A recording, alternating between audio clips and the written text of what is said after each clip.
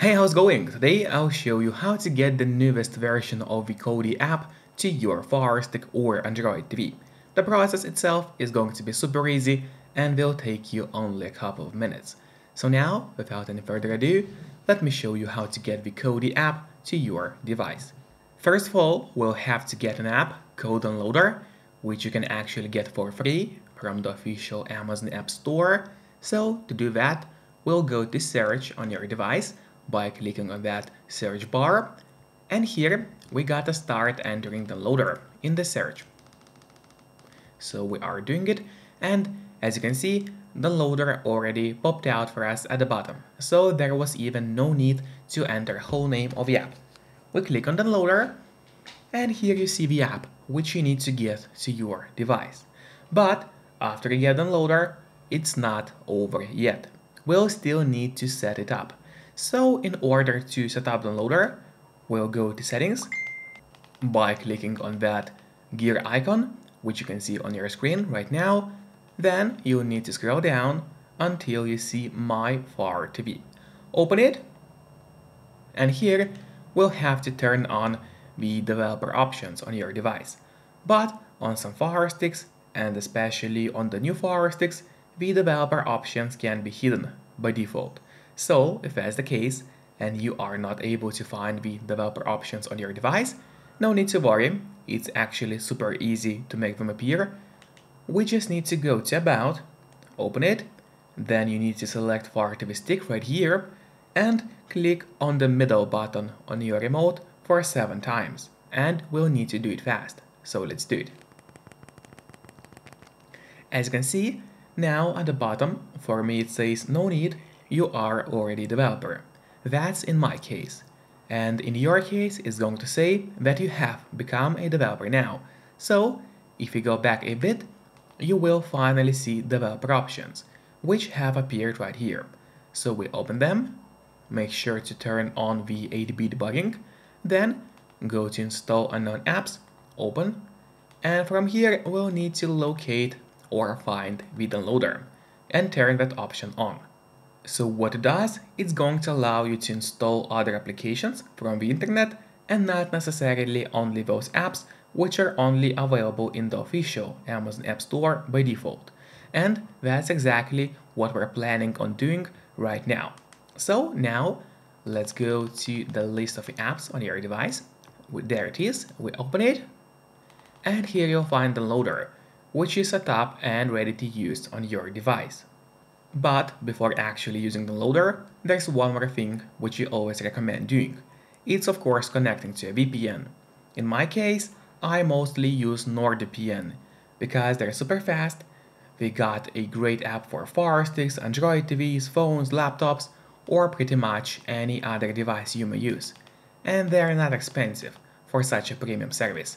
In fact, they cost less than a cup of coffee per month, which is great pricing for us, the users. In the VPN app, just connect to any server. Let's say we will connect to United Kingdom right now, and from the moment you connect, all your traffic is going to be totally encrypted. It means nobody can track you or snoop on you online. And that's really important if you want to stay out of trouble. And if you don't have a VPN yet, but you want to try it out, I do have a great offer for you. If you use my link, which will be in the pinned comment below the video or in the description of the video, you'll get 3 months of NordVPN totally for free, which is an amazing offer. And if you're watching this video on your TV or on your Fire Stick, then just grab your phone or your computer, open up a web browser and go to topvpnoffer.com. That's my website which is going to give you the same amazing deal for NordVPN with 3 months for free. Or just scan the QR code which you can see on the screen right now with a camera of your phone. It works the same way and it's also going to give you the same deal for NordVPN. Now, finally, let's use Downloader safely. So we go to the list of apps on your device, open up Downloader, and of course wait until the app opens for you. There, on the left side menu, make sure to click on Home and not on Browser. That's really important. So once again, make sure that you have clicked on Home and then here, in that search bar, we'll need to enter a link, which is going to be kodi.tv. So yep, that's pretty simple, just enter kodi.tv TV. Once again, you can see the whole link on your screen right now, so make sure to enter it exactly as you see and do not make any mistakes, because obviously if you make a mistake, then the link is not going to work. After that, you have to click on go, and while the website is loading, make sure to subscribe my channel so you would get even more content about Firesticks, as well as please hit the like button below this video. It really helps me a lot and this way I'll be able to create even more videos for you. And now, when the website has opened, you just need to click on that sandwich button right here. So let's click on it. From here, go to the download page. So we click on download right here. Now a new web page has opened and we gotta keep scrolling down until we find the Android logo right here.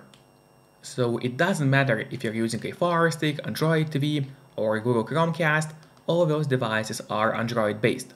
So that's the reason why we are using the Android version of the app. Now let's click on Android and wait until a new web page opens for you. After that, you have to scroll down and here you'll find the Downloads tab. So for the Fire Sticks, I recommend using the ARM v7a version or the 32-bit version of the app. So that's what I recommend using for Fire Sticks it should work pretty much on any Fire TV device. Now we'll click on it, and in a couple of moments the download is going to start. Usually that doesn't take long, but of course it all depends on your connection speed. Even though I have a VPN connected, it still works super fast for me, since I'm using NordVPN. Then we have to click on install and wait until Kodi gets installed to your Fire Stick, or your Android TV of course. And now, don't click on open yet, Instead press on done because here we'll have an option to delete the installation files as we don't need them anymore on our device. So we click on delete and then delete once again.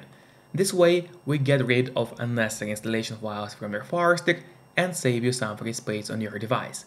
And that's really important because you don't really have too much of free space on your Fire Stick anyway. Now let's go to the list of apps on your device, open tab, Scroll down to the very bottom and here you'll find Kodi, which we just downloaded. Now I would recommend you to click on the options button on your remote. That's the button with three horizontal lines. Click on it and then press on move to front. This way, Kodi app is always going to be at the very top of your application list and therefore it's going to be super easy for you to access the app every time you need it. Just don't forget to keep the VPN connected to stay safe and out of trouble. Enjoy and see you next time. Bye bye.